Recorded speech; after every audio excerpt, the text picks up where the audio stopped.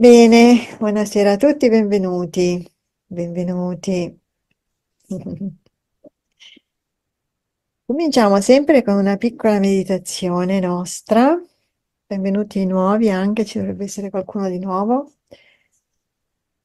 E cominciamo, ci sediamo comodi comodi, con la schiena eretta se possibile.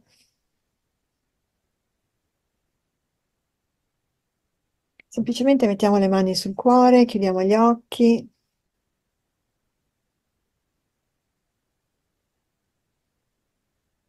Mettiamo le mani sul nostro cuore sacro, sul nostro bellissimo cuore.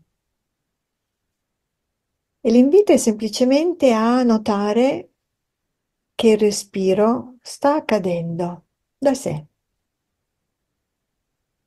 Grazie ad una intelligenza amorevole, che possiamo anche chiamare un amore intelligente, che regola con cura, amore e presenza ogni mia singola funzione delle mie 50 miliardi di cellule. E sento questo ritmo che forse si sta facendo un po' più lento, un po' più profondo.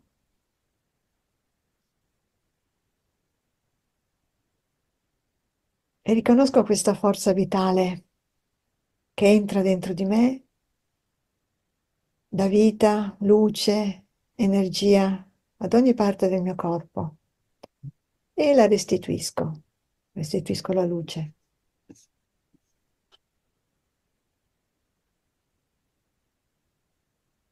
Sento il mio cuore che si espande. Ad ogni respiro si diventa un po' più grande.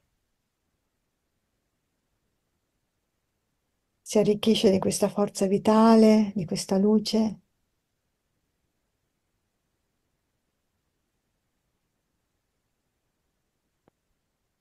E immagino che siamo tutti seduti in un grande cerchio. Siamo in 75, quindi un bel cerchio grande. E apro le mani, la mano destra con il palmo verso l'alto, a tenere la mano del mio vicino, la mano sinistra con il palmo verso il basso, a tenere la mano dell'altro vicino. E sento che chiudo questo cerchio. E sento scorrere questa energia vitale, questo, questo amore, questa presenza di noi seduti qua nel gruppo. Lascio che il respiro diventi profondo. E mantengo questo contatto. E noto che all'interno di questo cerchio c'è un altro cerchio.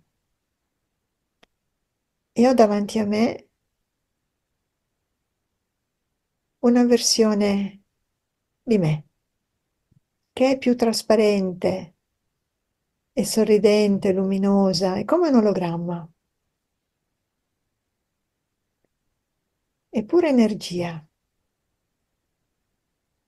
e non ha condizionamenti, non ha valutazioni, calcoli da fare. L'unica emozione che ha è l'amore verso di me. E apro un canale dal mio cuore al cuore di questa presenza, di questa mia essenza, che è proprio davanti a me. E prendo familiarità.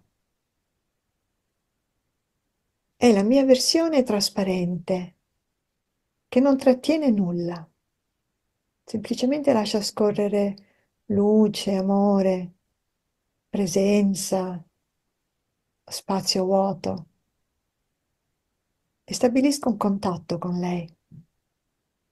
E mi sento inondata da questa energia, da questa luce, da questa forza vitale. E cerco di contenerla dai miei limiti fisici, del mio corpo fisico, di questa materia, di questa energia rappresa.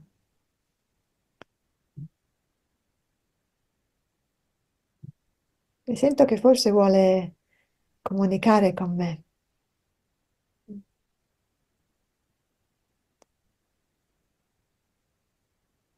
E so che lo fa sempre. E solo ora forse sto mettendo l'attenzione a questo canale di comunicazione che ho con la mia essenza.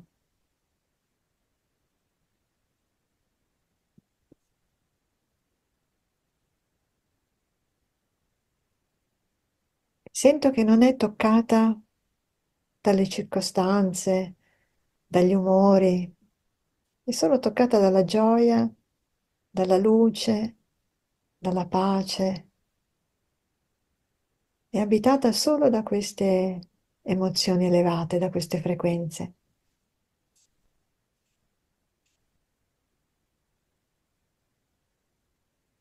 In questo momento percepisco la bellezza di sapere che c'è un'altra versione di me a cui posso sempre tornare per riposare, per sentirmi accolta, abbracciata.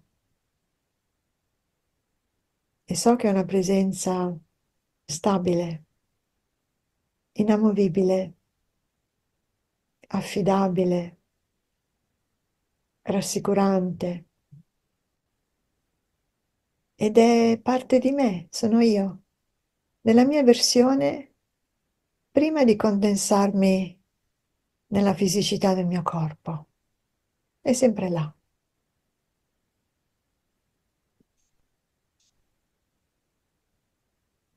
E vedo che è la verità di chi sono io. E questa essenza basata sull'amore. E domani, durante la mia giornata, più troverò occasioni in cui essere amorevole, più sarò tutt'uno con questa essenza.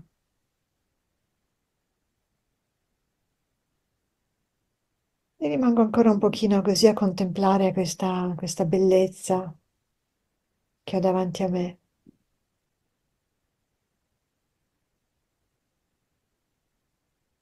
Il respiro si espande, il cuore si espande.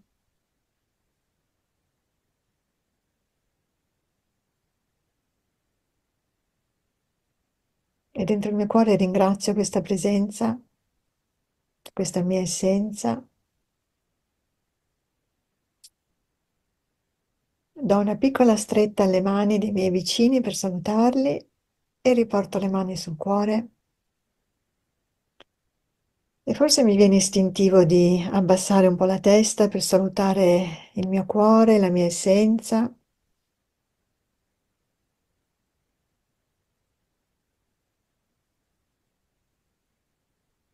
Lasciarla andare e piano piano tornare nel mio corpo, nel respiro.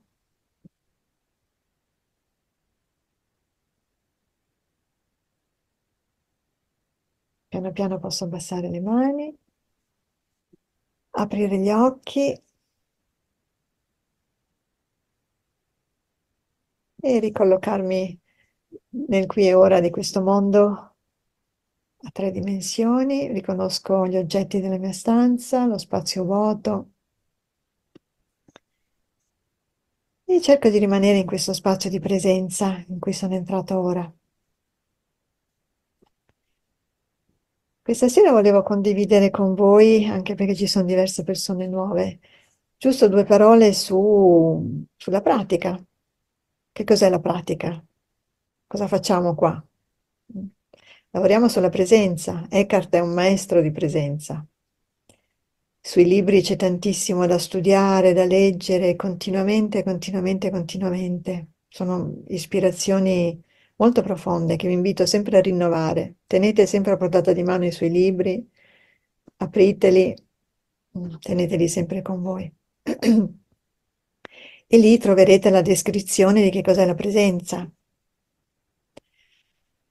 Vi voglio dare solo due spunti pratici, perché qui parliamo della pratica, che poi ampliate sui libri di Eckhart.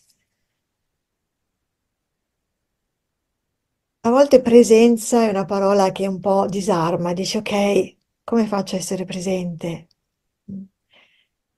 I due riferimenti che vi voglio dare, uno è presenza uguale vigilanza. Come dice Eckhart, immagina il gatto davanti alla tana del topo, può stare lì in attesa le ore. Non c'è tensione, c'è vigilanza, è vigile. Non è neanche un'attesa, perché non la finalizza il topo che esce, è un suo stato di presenza. Quindi se volete essere presenti, ricordatevi del gatto davanti alla tana del topo, che in questo stato di quiete non è teso, la presenza non può essere uno sforzo. C'è già. Io sono quell'essenza, quella presenza. Non ho nulla da raggiungere, devo semplicemente ricordarmi, questa è la seconda spunto che vi do, vigilanza e ricordo di questa essenza che io ho sempre davanti a me, ma in realtà è dentro di me. E quell'essenza è pura presenza, consapevolezza.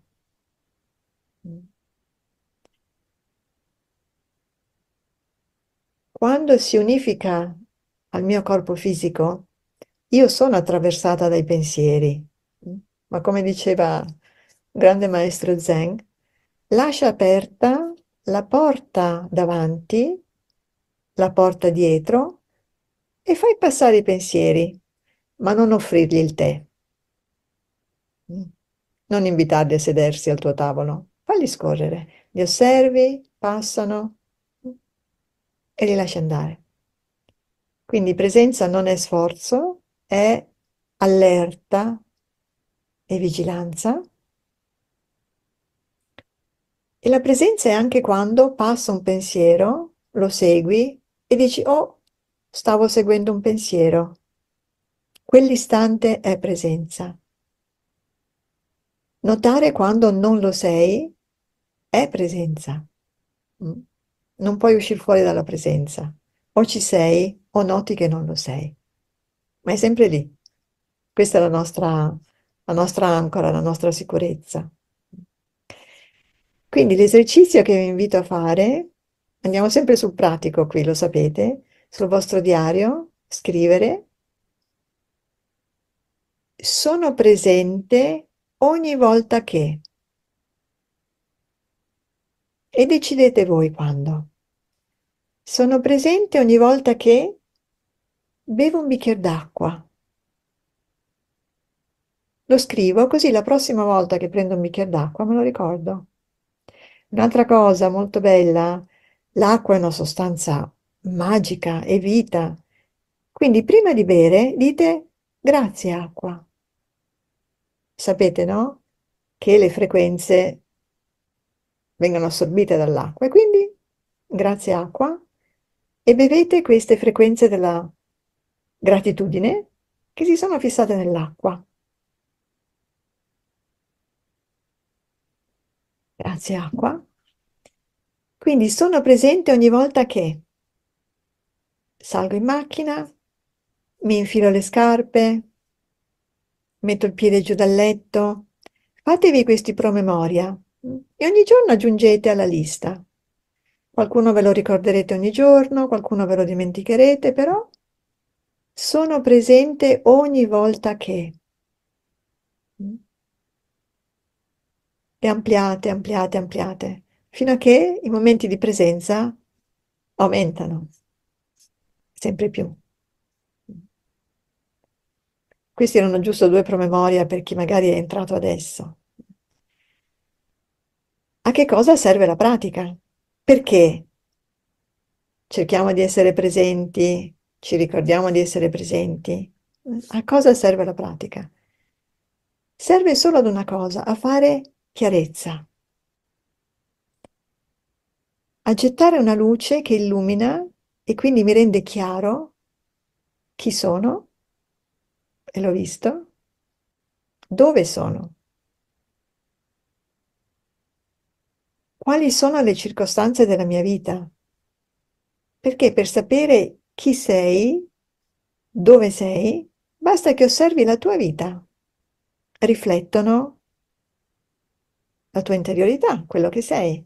Quindi osservi la tua vita, ci sono conflitti, dove sono conflitti? Ci sono delle facilità, dove sono le facilità? Quello sei tu, non ci sei tu e poi da una parte la tua vita giusta o sbagliata.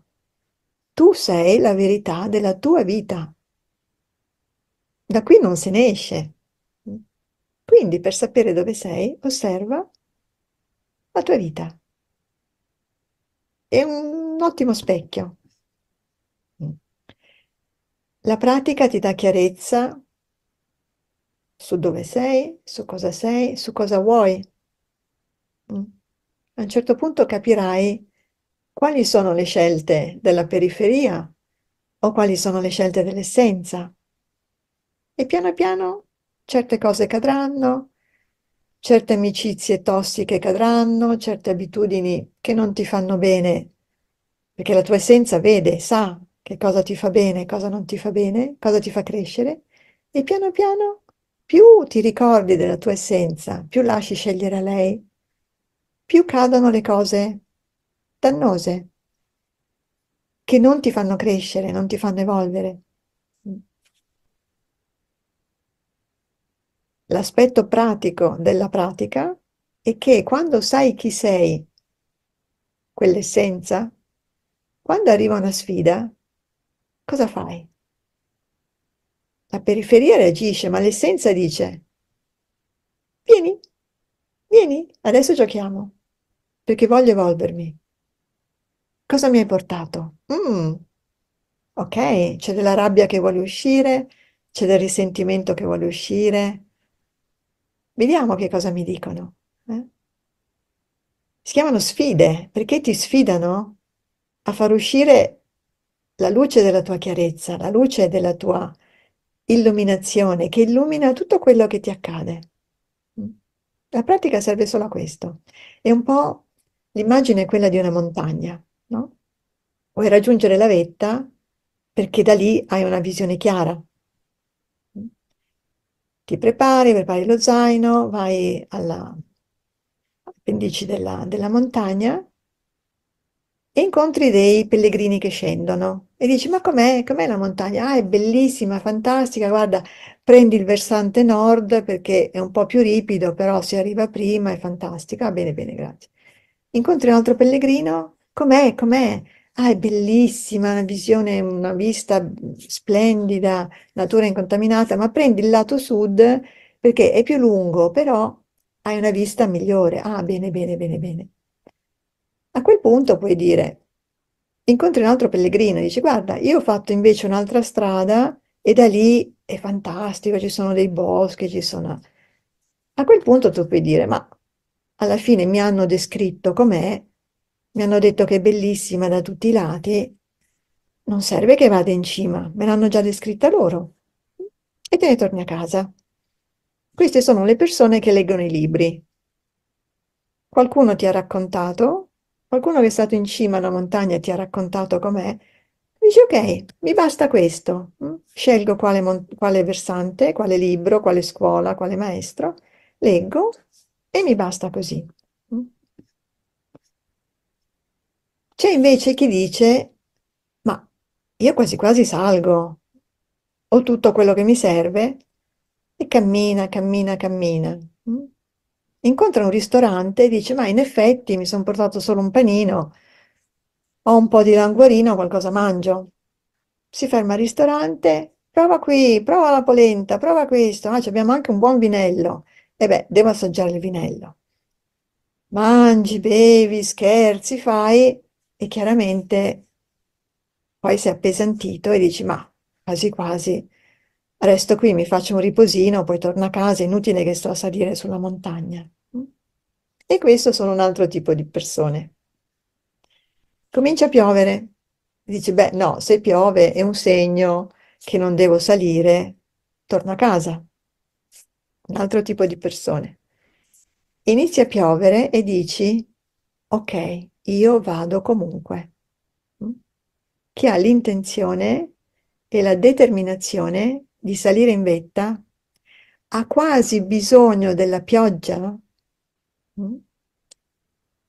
per chiamare l'aiuto che arriva quando sei determinato, quando una contrarietà accade e tu ci passi attraverso.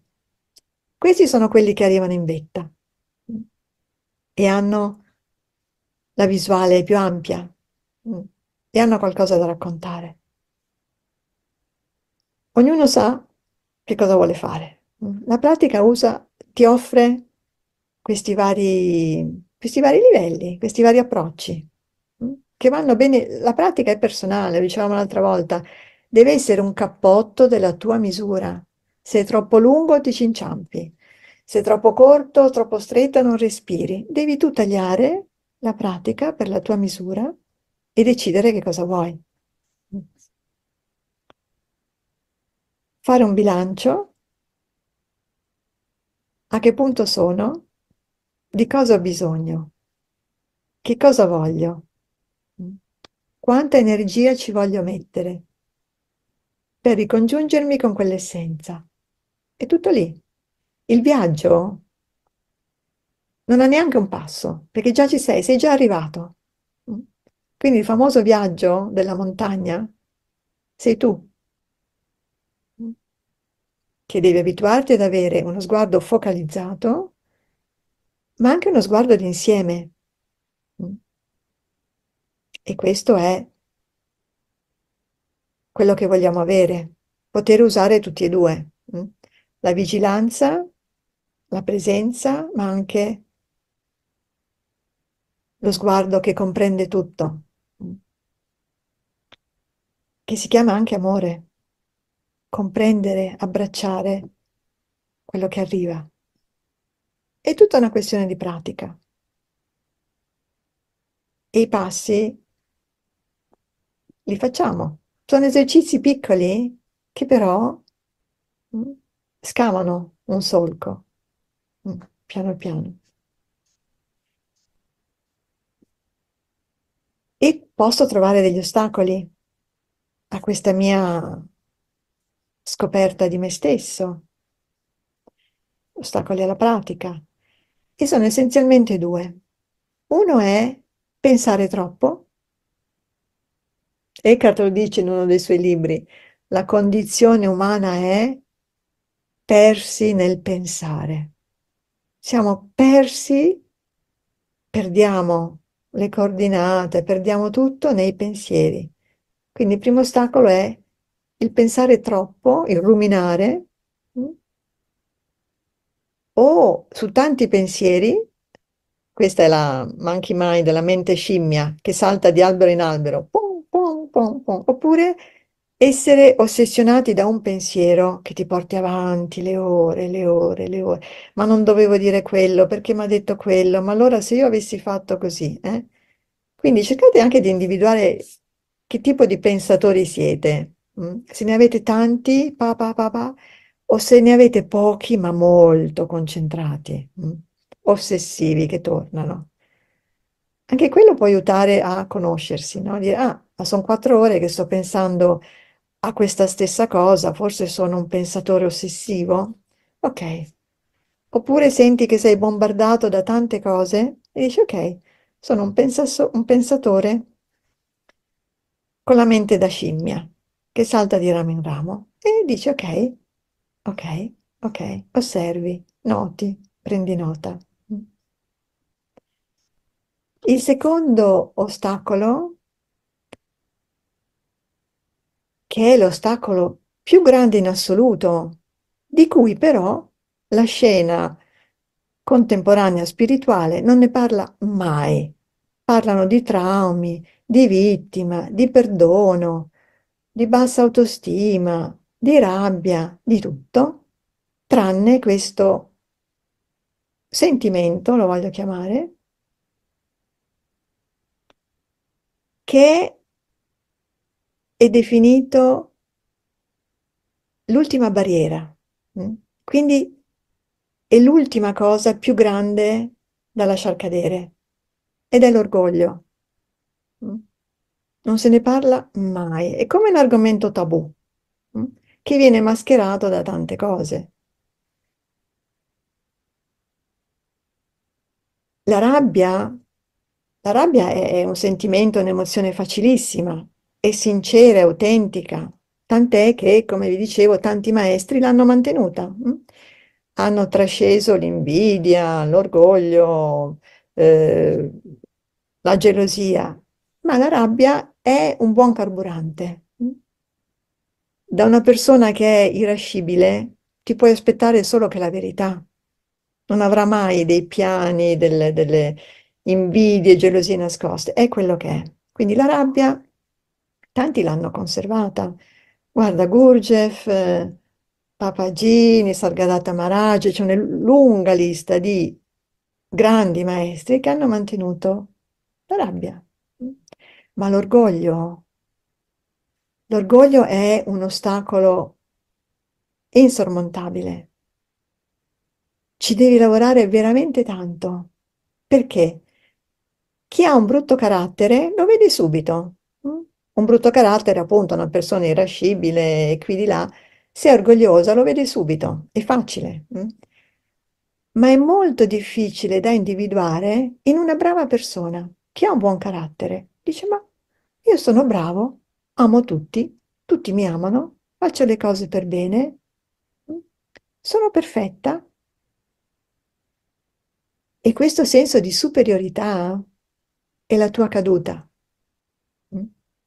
Perché non c'è più umiltà, mascherata da bontà ed è molto, molto, molto difficile da smantellare, molto difficile. I- i- le persone col carattere cattivo, cattivo nel senso di esuberante, eh, è molto più facile lavorare con loro. mm? Con le persone con un buon carattere, se nascondono l'orgoglio, che però esce di qua e di là, è molto difficile, però si può fare. Così come l'orgoglio ti fa cadere, l'orgoglio ti fa anche cadere nell'umiltà, che è la tua unica salvezza. Solo l'umiltà ti può salvare, perché è dall'altra parte, dall'altra estremità della fune. Ci sono esempi biblici grandiosi, grandi, grandi re, la torre di Babele. È accaduto tutto a causa dell'orgoglio. Mm. L'esempio numero uno, Lucifero. Lucifer, portatore di luce, era un angelo bellissimo, luminosissimo, cioè ha avuto il nome portatore di luce. Era l'insegnante degli angeli, era magnifico, mm, pieno di luce. Quando Dio gli ha detto, guarda, ho creato quell'esserino là, ti devi inchinare a lui. E Lucifero ha detto, "Eh, scusa, forse non ho capito bene. Quell'esserucolo, quel- quel- quello schizzetto di argilla, io dovrei inchinarmi a lui. Ma ce l'ha scritto in fronte che, che è un disastro, un fallimento, ti deluderà. Non sa fare niente. Io inchinarmi a lui? No, io sono più importante di lui. Mm. Chi è lui? Ah. Quest'atto d'orgoglio estremo l'ha fatto cadere. Ed era un angelo, l'insegnante degli angeli. Guarda quanto è finito in basso. Capite che l'orgoglio può farti precipitare. Mm. Perché vuoi essere perfetto, vuoi essere- vuoi prendere la posizione di Dio, solo Dio è perfetto. Mm. E tu vuoi prendere quella posizione, non è la tua. Mi ricordo sempre che in Afghanistan, quando fanno i tappeti, mm, ci sono queste geometrie bellissime, perfette, l'albero della vita. Ma l'avevo notato, dico, ma che strano, c'è sempre un punto dove c'è un piccolo difetto. Dico, scusi, ma perché hanno questo difetto? Non sono riuscita a farli bene. Dice, eh, no, solo Dio è perfetto, noi siamo umani, sempre nascondiamo un piccolo difetto mm, per ricordarci della nostra caducità umana, per non crederci perfetti. Noi siamo perfettamente imperfetti e mettono sempre uno o due punti sbagliati, mm, che non si notano in un angolino, però loro sanno che c'è. Mm. E questo lo trovo, lo trovo bellissimo. Mm. Perché il perdono può essere difficile? Perché dietro c'è l'orgoglio. Come ho osato tradire me? Mm. Come ho osato dirmi quella parola a me? Mm. Quindi ti dai talmente tanta importanza nel tuo orgoglio che non scendi a dire mm, questa persona così cos'ha. Lo prendi come un'offesa personale della tua grandezza. La mancanza di perdono è semplicemente una, un orgoglio che non si riconosce. Se tu riconoscessi l'orgoglio, il perdono non ha più senso. Non ha più senso, cessa. Lei non sa chi sono io. Come si permette di... Queste sono le frasi dell'orgoglio. È come andare in giro con una coppa piena. C'era la storia di quel filosofo che andò a visitare un maestro spirituale. Dice, ah maestro, maestro, sono venuto qui per imparare da te. Lui era un famoso filosofo, scritto libri. Eh. Maestro ah, bene, bene, prendi un tè, siediti lì. Prende la ciotola, la tazza e inizia a versargli il tè. E versa, e versa, e versa, e versa. Il tè usciva dalla tazza. E questo filosofo dice, ma cosa stai facendo, maestro? Ma non vedi che sta uscendo? Dice, sì, quello sei tu. Sei venuto con la coppa piena. Qualunque cosa ti versi dentro, esce fuori. Mm. Dimentica la tua conoscenza, l'orgoglio dei tuoi libri, della tua conoscenza e sii umile, allora potrò versare qualcosa nella tua tazza. Quindi l'orgoglio è una barriera molto importante che tutti noi dobbiamo andare a individuare dov'è, perché molto probabilmente qualche punto ce l'abbiamo e quella è la chiave. Ha fatto cadere l'insegnante degli angeli. Mm? Pensa che potere ha. Ha un potere sconfinato. Ed è bene incominciare a vedere nelle nostre reazioni, in quello che diciamo, come facciamo, dove si nasconde? Perché è molto abile a nascondersi, molto abile. Lo scambi per altre cose. Mm. Mancanza di perdono, lo scambi per rabbia, lo scambi per bontà, mm. lo scambi per tante cose. Quindi volevo individuare e farvi così, fare esercizio anche su questo. Quindi, ah, e quindi esercizi da fare sono questi. La mattina, prima di mettere il piede giù dal letto, vedi davanti a te la tua essenza e dici oggi fai tu, mm? affidati a lei, lascia che pensi, che agisca, che agisca, che non reagisca, ma delega a lei, mm? al suo spazio il tuo modo di interagire con il mondo. Prova proprio a vederla. Mm? C'è questa essenza con la quale ti, ti sposi per andare nel mondo, ma ricordati che è lei. Mm? Se le dai spazio, ti fa arrivare le intuizioni che prima erano una vocina sottile sottile, dici, bah, Adesso più le dai attenzione, più diventano la voce dominante. E il chiacchiericcio nella testa, a basso volume, le tue intuizioni finalmente hanno spazio. Ispirazioni, intuizioni, tutto quello che viene dall'anima, da questo canale aperto, allora forse diventano più, più vive nella tua vita e vivere una vita seguendo le proprie intuizioni ed ispirazioni è una vita fantastica. Puoi fare una cosa, puoi fare una scelta, non sai perché la fai, tutti ti sono contro, ma tu la fai e ti senti fiorire dentro. E poi vedi che messaggio ti ha portato, che regalo ti ha fatto. Ogni cosa che fai per ispirazione ti ricolma di doni. L'universo dice, wow, ci ha ascoltato, e lei, Vum. doni, doni, doni, doni. Funziona così. Perché l'universo dovrebbe dare dei doni a chi va in giro così e non ascolta? Non ha senso. Mm. Inviti un ospite a casa, sua, a casa tua.